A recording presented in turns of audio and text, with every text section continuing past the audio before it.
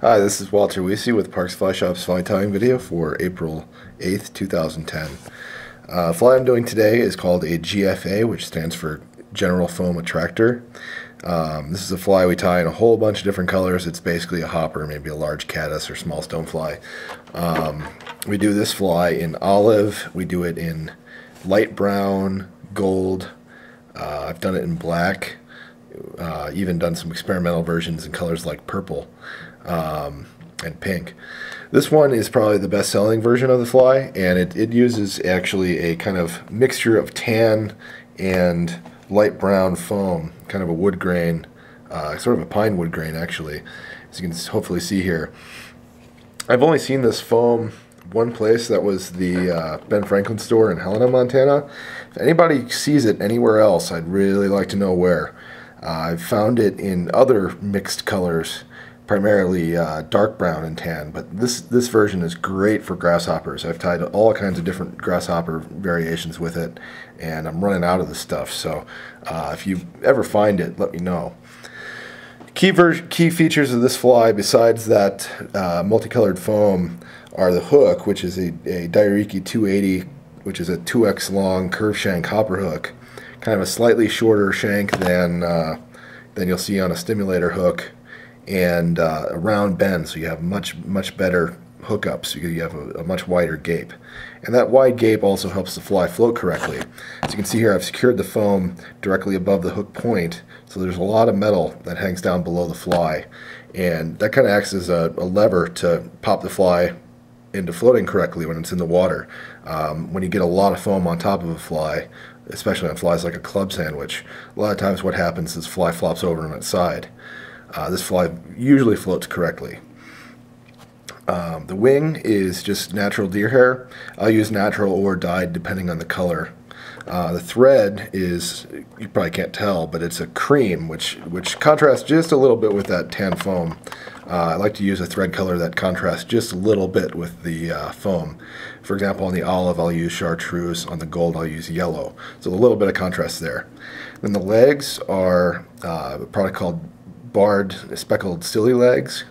And I like to use those silicone legs instead of standard rubber legs uh, because they are multicolored and create quite a bit of contrast um, between the legs and the foam. And then a little bit of foam here, bright foam, on top of the fly as an indicator. Okay, first step in tying the GFA. I'm going to start your thread right up at the front and lay first a smooth thread base down to directly over that hook point. And then the next thing I'm going to do is spiral my thread back and forth several times. And what that does, number one, it creates a bit of a um, bit more bulk for that thread base to so it shows up a little better. But more importantly, what it does is create sort of an uneven surface for the foam and the super glue that I'm going to use to secure the foam allows that to adhere to. So I've got my foam strip here and um, what I'm going to do is clip off just a little bit so that I have nice long expanse of uh, mixed colors there because I want I want to have a good representation of both uh, both colors. I'm going to notch the ends of that. I'm going to tie that in so it extends about two thirds, maybe two thirds to three quarters of the length of the underbody back beyond the rear of the fly. Start that with about four turns of thread up at the front. I'm going to make one large segment wrapping directly over the top of the foam and then two slightly smaller segments back to the end of the body. The underbody, I should say. Then I'll make a couple more thread wraps at the back and then bring my thread back up to the front. As you can see, I, I, this is one example where I do use the rotary feature a little bit. The reason I do that is to make sure I uh, get my, my segments even, or more or less even, and more importantly so I don't get any thread on the bottom of the fly. Now the next thing I'm going to do here is put some super glue right on that thread base. That's going to make this fly much more durable and ensure that it doesn't twist.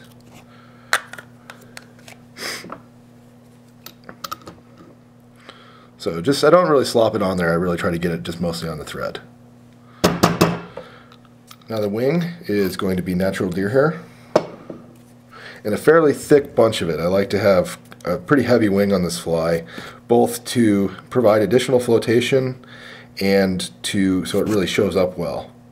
Uh, having a pretty bulky wing, um, you know, creates more more illusion of mo movement, just makes the fly itself look bigger.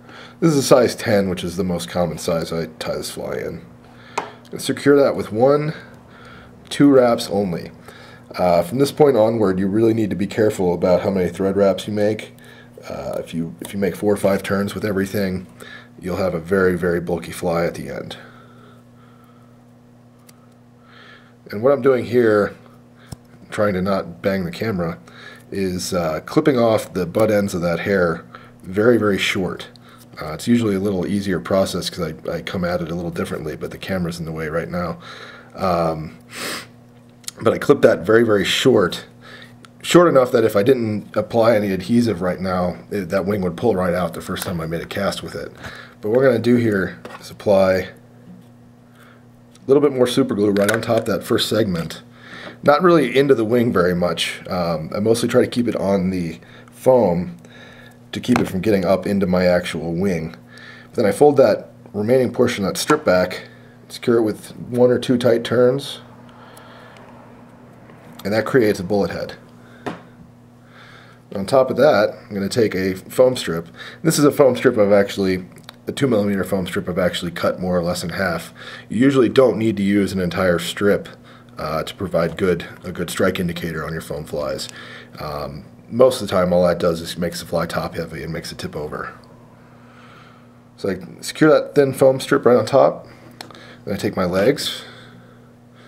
Um, which are brown, and, and you probably can't see that they, they do sparkle quite a bit. So they're brown, kind of a translucent brown with a little bit of gold sparkle, and then black barring. So there's a lot of different colors there, which suggests movement. And notice I did not even make a thread wrap to secure that leg. Just kind of slid it up beneath the thread that I already had.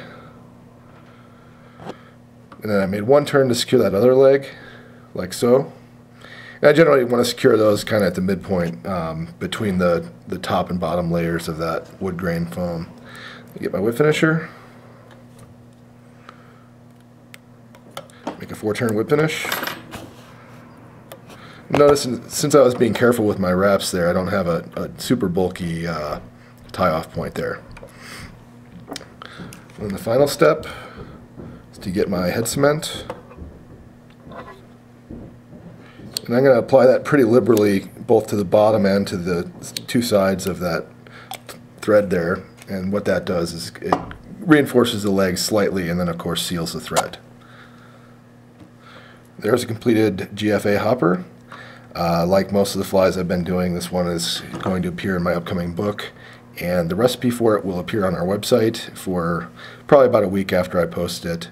Um, as always, thank you for watching, and if you have any questions, feel free to contact me.